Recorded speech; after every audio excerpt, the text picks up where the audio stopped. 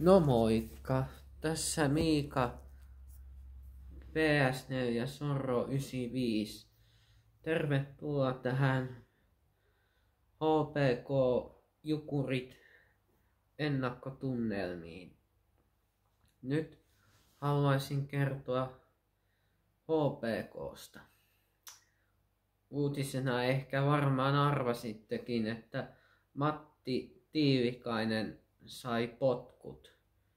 Ja, ja, ja hänen tilalleen tuli Jarno Pikkarainen. Että, et niin kuin en ymmärrä, miksi Tiilikainen sitten edes ryhtyi HPK päävalmentajaksi.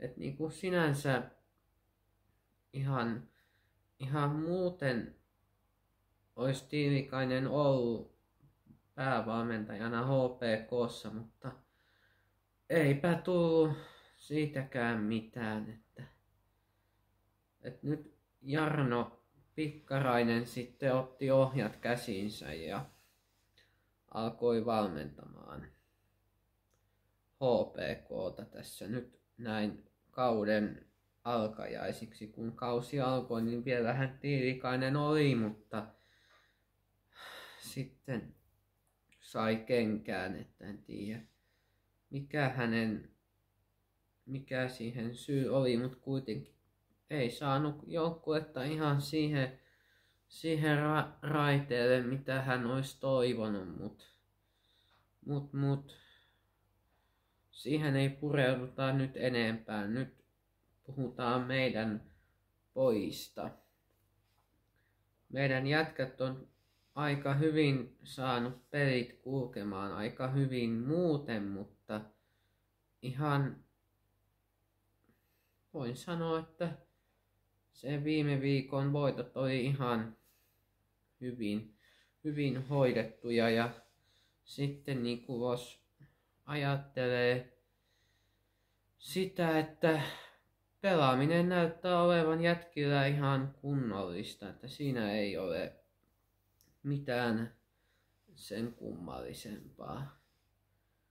Mut nyt voin sanoa, että huomenna sitten näkee kokoonpanot, että ketkä huomenna on pelaamassa. En tiedä keitä siellä on, mutta saa nähdä sitten huomenna, kun näkee kokoonpanot yhdeltä.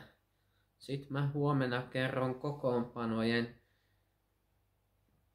tiedot teille kaikille sitten huomenna, mutta en mä nyt tänään lähde niitä arpomaan, että en tiedä vielä huomisista kokoonpanoista mitään. Mutta joo.